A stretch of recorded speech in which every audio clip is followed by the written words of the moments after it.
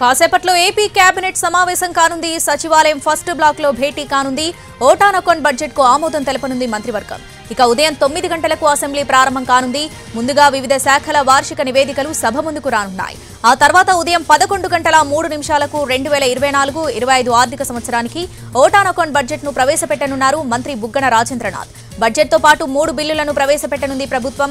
AP assign lands సవరణ bill ఉద్యోగుల నియామకాలు క్రమబద్దీకరణ సంబంధిత సవరణ బిల్లును సభ ముందుకు రానున్నాయి.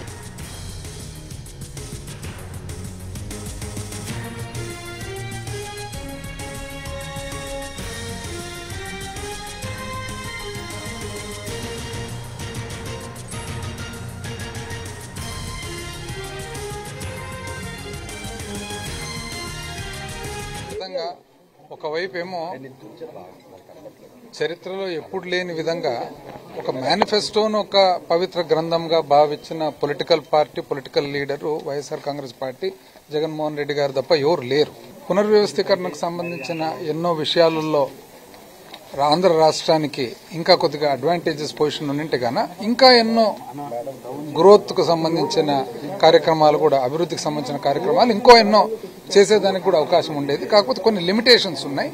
ఆ లిమిటేషన్స్లో మన ప్రభుత్వం we done what best record అయితే మన ప్రభుత్వ విధానాల్లో ప్రధానమైన అంశం ఏమంటే చాలా అట్టడుగున ఉండే వర్గాలు బడుగు బలైన వర్గాలు ఒక ప్రభుత్వం లేకుంటే అసలు బ్రతుకు తెరువు ఎట్లా సాగించాలి అని చెప్పే వర్గాలు ఎవరైతే ఉన్నారో వాళ్ళకు ప్రాధాన్యతనివ్వడం జరిగిందనమాట దాంతోపాటు మీరు గమనించినట్లయితే గత ఐదు సంవత్సరాల బడ్జెట్లు కూడా ప్రధానమైన మనం ఇచ్చిన ప్రాముఖ్యత వచ్చేసి వైద్య వైద్యము విద్య అదేవిధంగా ఉమెన్స్ ఎంపవర్మెంట్ అదేవిధంగా వ్యవసాయదారులు రైతులు అదేవిధంగా ఓల్డ్ ఏజ్ పీపుల్ ఎవరైతే వృద్ధులు ఉన్నారో వాళ్ళు వీళ్ళందరికీ కూడా ప్రాధాన్యత ఇవ్వడం జరిగింది.